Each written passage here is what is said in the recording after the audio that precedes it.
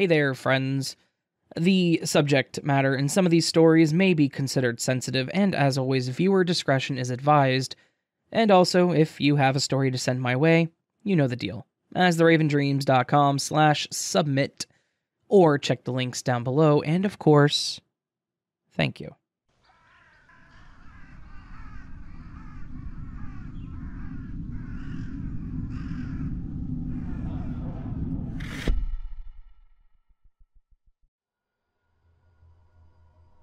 I've worked at a locally owned liquor store for quite a while.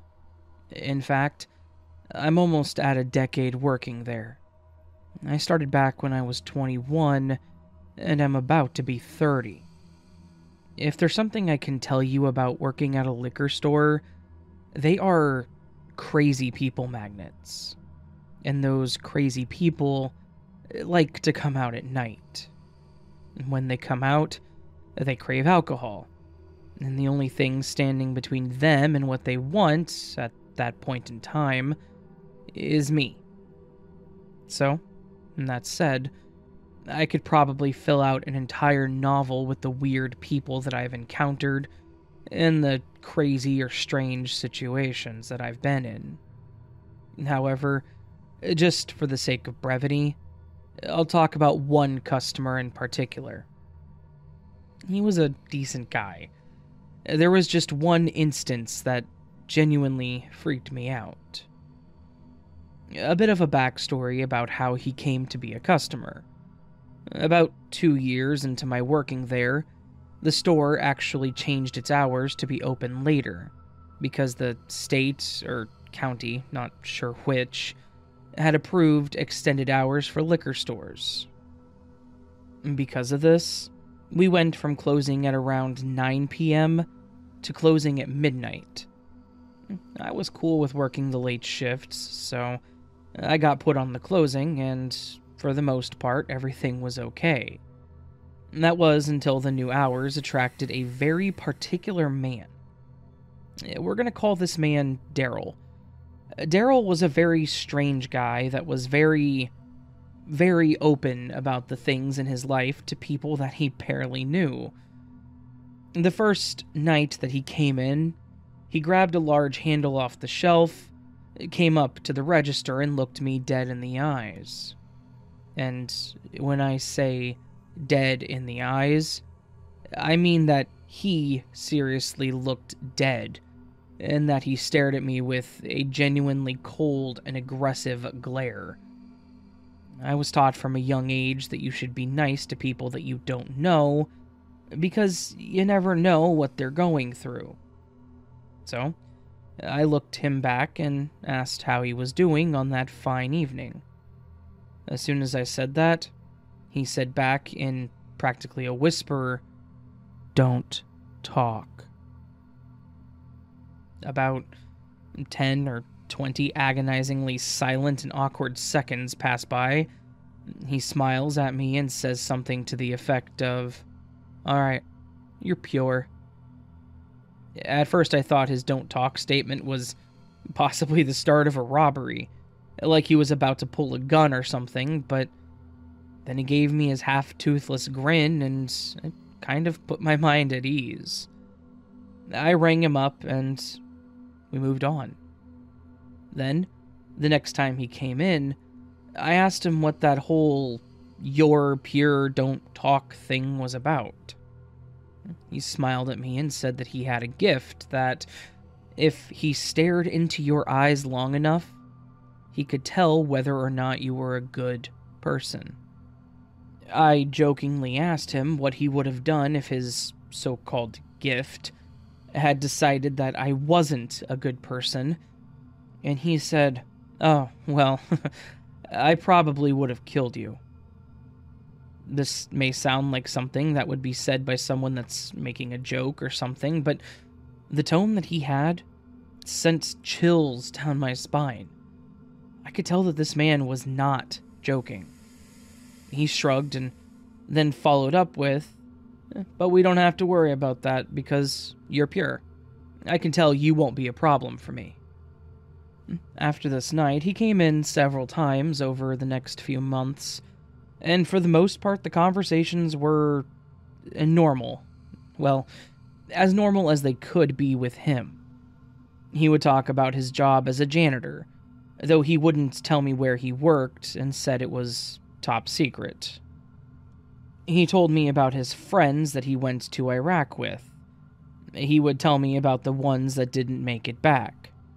Every once in a while, the short conversations would be broken by him making a really hard grimace and looking away, which told me that he had some internal issues that he was facing. Because of this, I was always polite to him, and I made it a point to keep the conversation as light as I could. There was one night where he came into the store in his underwear and paid in cash. You can guess where he was keeping it. Honestly, that was the night that I almost checked out of this whole thing, but he was incredibly apologetic, and he told me that he had forgot his pants. And that's it. He had apparently simply forgotten to put pants on. Like I said, it was weird, but I let it go and we moved forward. The aforementioned event that this story is actually about took place around six months into Daryl being a regular, almost every other day kind of customer.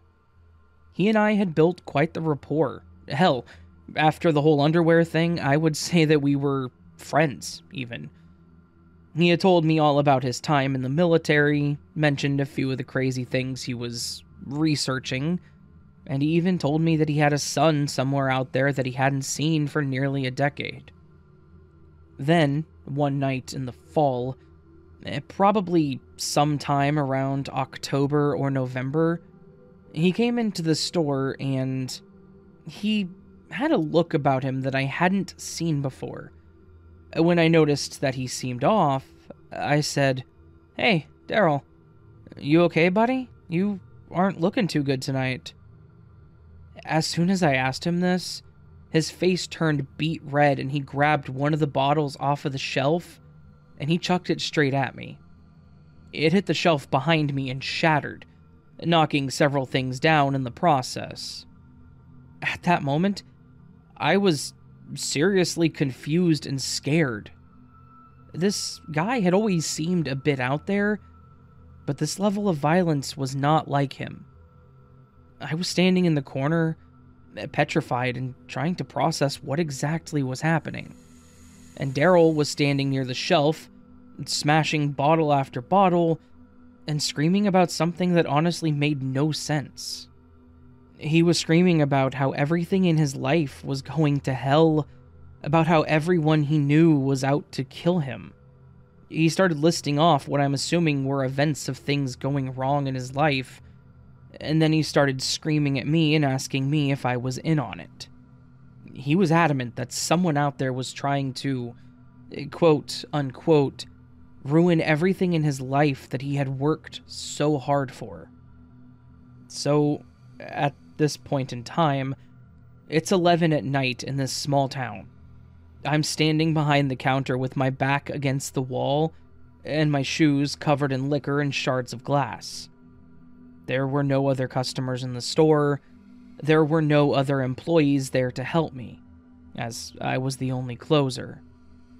All the while, this guy that I was sort of acquainted with from his times buying alcohol at our store was shouting every kind of violent profanity at me. And he was starting to convince himself that, for some reason, I was one of the bad guys out to get him.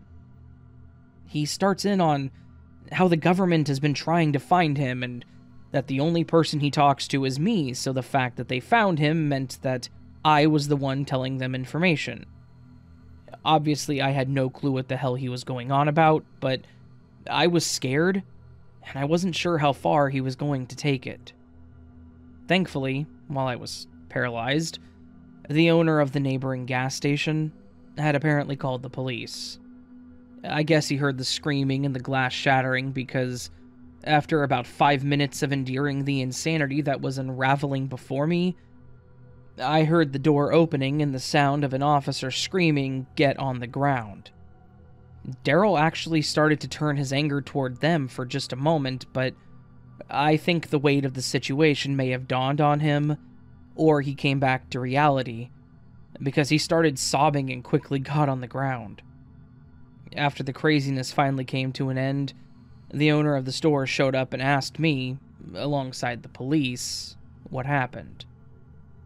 I told them I didn't know. I told them everything I knew about Daryl and that he just showed up enraged and started trashing the store. I felt bad, honestly. It was almost midnight and this poor guy had clearly had an episode. After all was said and done, I found out that Daryl actually did have a few mental issues and he was apparently off his meds for a little while. On top of that, he wasn't supposed to be drinking while taking his medication. So the whole thing was a recipe for something to go wrong. Uh, like I said, though, he was fairly normal for most of our interactions. But this one night, he had just apparently snapped. And I guess I had said the wrong thing to him. My manager and I talked about the situation, and he had decided not to press charges against Daryl so long as he could pay for what was destroyed. I actually pitched in for half of it. I think it was something like maybe $200. Sadly, Daryl only came into the store one more time, and he actually did so to apologize to me personally. He said that he had issues and that he didn't mean to scare me. He then said that I was the only person to ever really listen to the things that he was going through, and that he really did consider me a friend, and that he never meant to drag me down into his personal hell, is how he put it. I told him that I fully understood. I shook his hand and wished him well. Sadly, that was the last time that he and I ever interacted. I personally just hope that wherever he is, he's doing alright.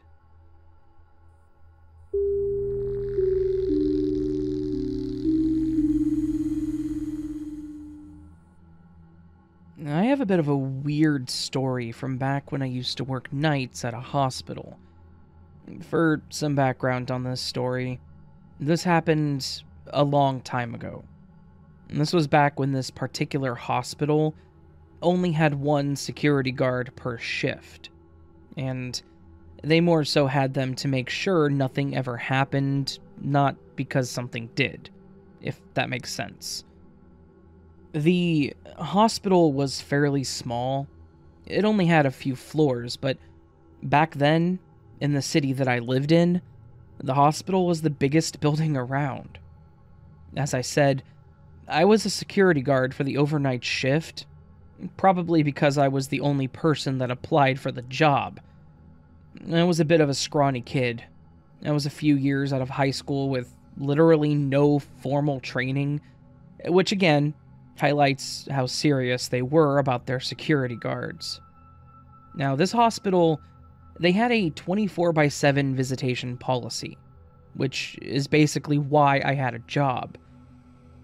They held a strong policy that was basically that the family and friends of those in the care of the hospital had unfettered rights to visitation.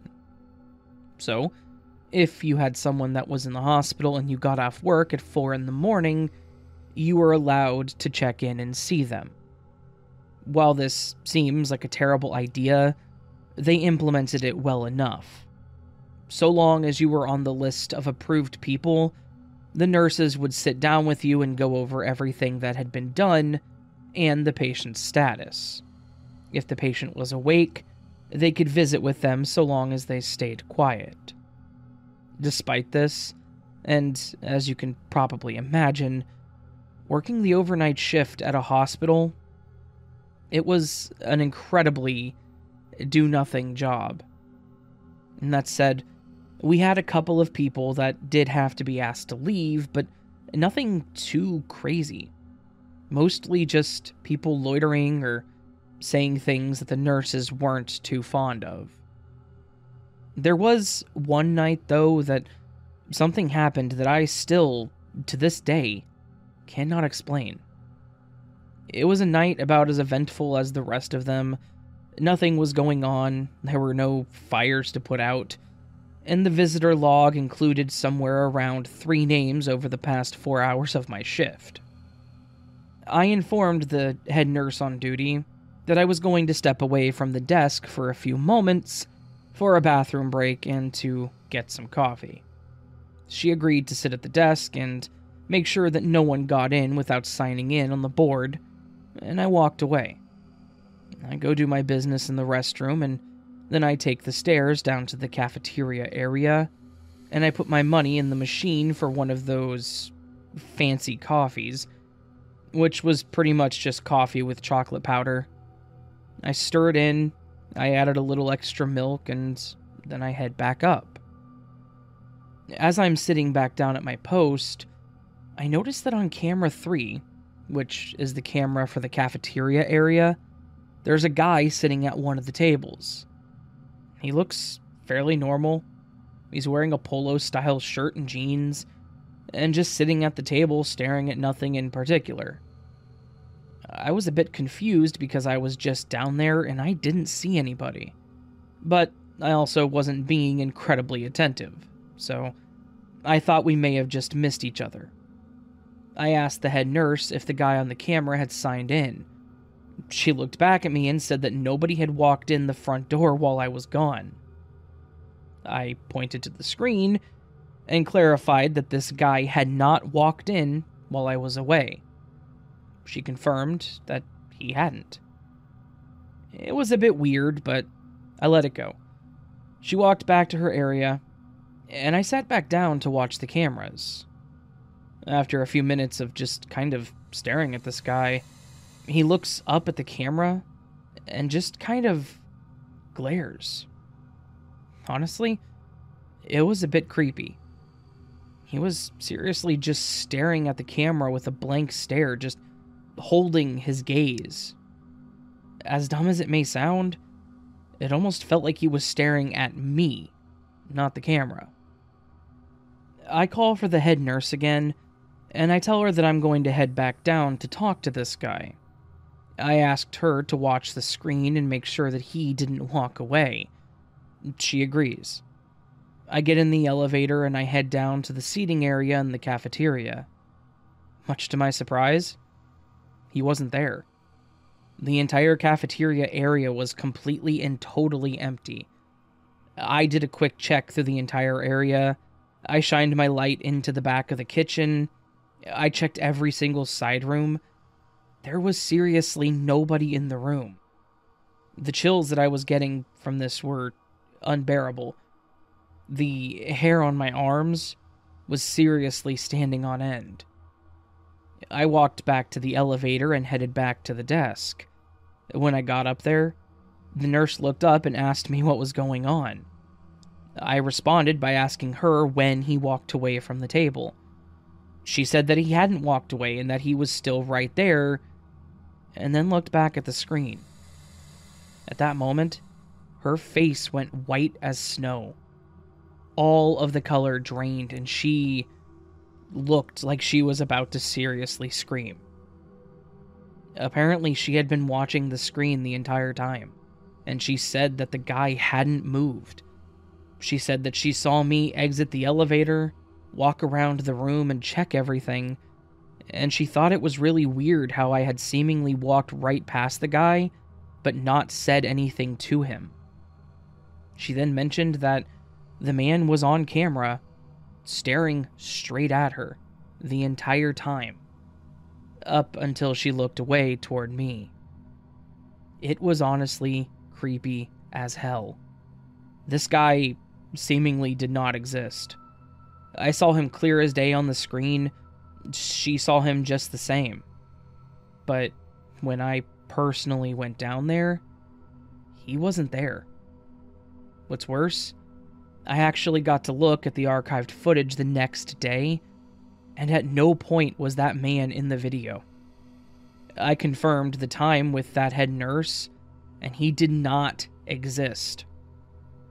I even watched the clip where I was walking around and checking the area out, but there was nobody sitting there. I don't know if this was some sort of glitch or just a really freaky anomaly, or maybe it was some kind of ghost that was just being really creepy, but it was honestly the most terrifying thing that ever happened at that job.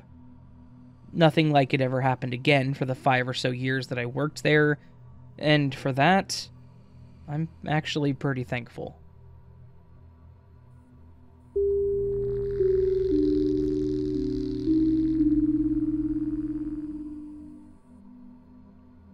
I used to work the overnight shift at a certain 24 by 7 store that sold a bit of everything.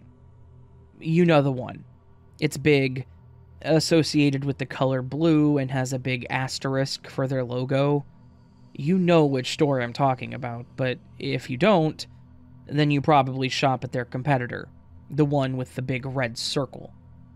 I think you get the picture I'm trying to paint here. Anyways, I worked for the store on the overnight shift for a few years, and I generally hated it.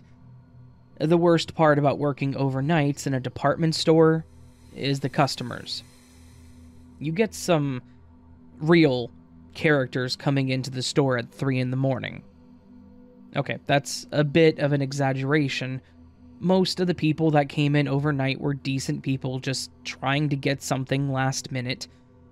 That said, the people that were the aforementioned characters were weird.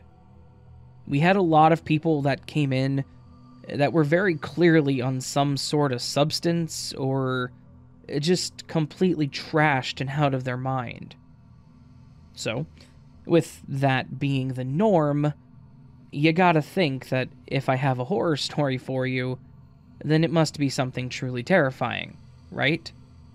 Well, that thought would be correct. There was one night that definitely stands out to me. One customer that really made an impact on my memory. This actually happened during my first year working there, eh, probably around month 9.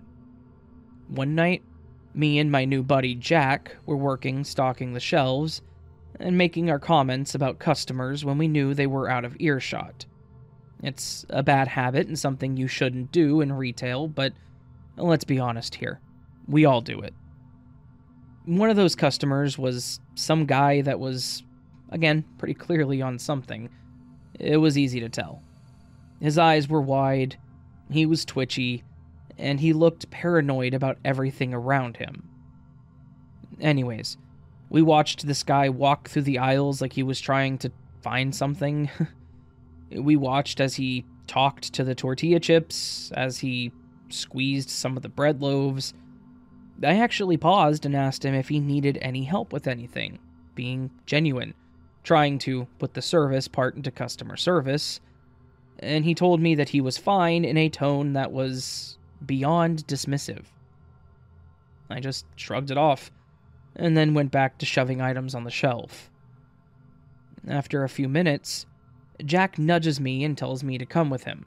So I do. We walk away from our stock point and into another aisle where Jack tells me that the guy from earlier, that paranoid guy that was squeezing the bread, looked like he was following a woman that had passed by. And he wanted to make sure we were ready just in case something happened. I mentioned to him that we should get a CSM involved just in case, and he agreed, grabbing his walkie and asking for CSM to come to the section we were in. We were there, standing off to the side, pretending to put more stuff on the shelf, more so shuffling items that already existed, when we hear a woman shriek. We both turn to see what the hell was going on, and we seriously see this guy walking away from the woman with a baby in his arms. This dude had apparently waited for the woman to not be looking at the cart and snatched her infant son out of the seat. And he was walking away nonchalant like it was his kid. He wasn't running or making a full on getaway. He was just walking away from the woman that was screaming at him to give back her child. Obviously, the commotion caught the attention of everyone nearby, which was pretty much just employees at this time of night. Since Jack and I saw what happened, we went over to block the guy from getting too far. I started telling the guy that he needed to stop and to give back the child. Jack kept actually trying to physically stop the guy. It was pretty clear to me that he was getting agitated. The look on his face went from calm to angered, and he started muttering something about how we were trying to take his son from him. Then, seemingly out of nowhere, he reaches his hand into his pocket, eh, pulls out a small switchblade looking knife, and he shoves it into Jack's arm as hard as he could, and then continues to walk off slowly while Jack is screaming bloody murder, and the entire crowd of employees is freaking out. At this point, adrenaline kind of kicked in, and I knew that I had to do something. I pretty much threw myself onto this guy's back and started trying to choke him out as best I could. I'm not really a strong guy or anything, but I used to watch wrestling a lot with my uncle, and while that may have been fake as hell, I guess I learned a thing or two. So, at this point, this guy has successfully stolen a child and was attempting to leave the store, had stabbed my coworker, and was now being choked out by me. All in the matter of around two minutes. If I were to say this was the longest two or so minutes of my life, it would be an understatement. But, thankfully, this story does have a happier ending than some. Once my coworkers saw me trying to take the man down, they stepped in to get the child out of his arms. It actually took a couple of us to get this guy onto the ground. Yet another side effect of being on certain substances.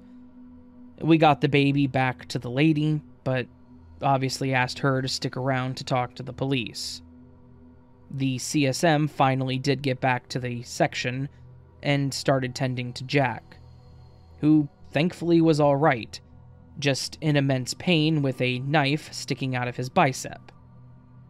Once the cops got there, I had to give a statement on what happened.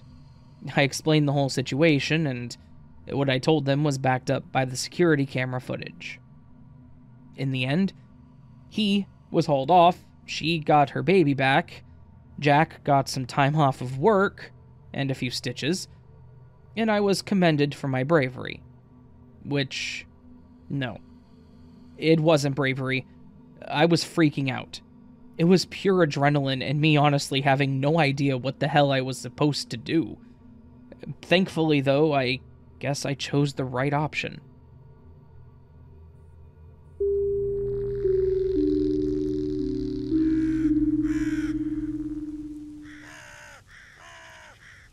So that was a collection of three. Uh, actually, pretty terrifying night shift stories. I quite enjoyed all three of these. Uh, I do feel sorry for Daryl, honestly. Poor guy obviously had some mental issues going on. Um, hopefully, got those solved. The second one with the cafeteria and the hospital, that one's creepy as hell. I have no idea how I would react if I saw that. Uh, hopefully, it was just an anomaly on the camera, maybe footage was messed up and playing back. I don't know. Creepy as hell. Uh, and then the last one with the blue store, which Walmart, because of course it was. Um, I don't know how I would react in that situation.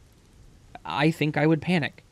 Uh, that person that actually jumped in to take him down, the guy down, that I mean, I know they said it was adrenaline, but that is bravery because if I saw my coworker get stabbed, granted it was in the arm, so it wasn't terrible, but this guy stealing a child, stabbing people, and just walking away like nothing happened, um, I think I would start to panic. Though I'm not in the situation, I may actually jump in, who knows, right? What would you all do in that case? Um, yeah. Have any of you worked a terrifying night shift job or had uh, experiences during a night shift? If so, please send them my way. I would love to feature your story in a video, just like this one. You can go to astheravendreams.com slash submit or check the links down below. You can also put them on my subreddit. That's an acceptable place. Uh, or just email them straight to me. Your decision. You send it my way, I'll feature it. That's how this goes. Uh, if you like the video, please hit that thumbs up button. You can also hit the subscribe button if you're new to the channel, and if you want to support the channel more, you can hit join or go to patreon.com slash as the raven dreams where for $1 a month you can get early access to all of my content and support me in my efforts to continue doing this. Always appreciated and always optional. That said, my friends, I hope you have a beautiful day. I hope I'll see you on the next video. But until then, sleep well.